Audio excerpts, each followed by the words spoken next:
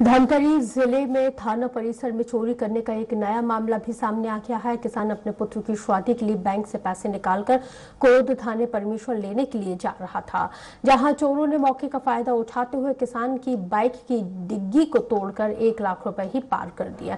इस घटना के बाद से पूरे क्षेत्र में हड़कंप मच गया। पीड़ित किसान की सिंधौरी कला कुरुद क्षेत्र का रहने वाला वो बताया जाता है। वहीं पुलिस सीसीटीवी कैमरे के आधार पर चोरों की तलाश कर रही है। से बुलाया और पेन से मांग कर थोड़ा से नाम नोट कर दे बाबू इसी करके साहब ने बोला। और नाम नोट किए और दो मिनट यहाँ रुके हैं और फिर गाड़ी के पास से पैसा गायब। अब थाना परिसर में कई लोगों का आवागमन होता है और साधारण कोई एक दूसरे पर शंका नहीं करते। थाना परिसर भी रोड से लगा हुआ है। तमाम लोगों का आना जाना रहता है। उसे एकदम थाना परिसर नहीं कह सकते हैं।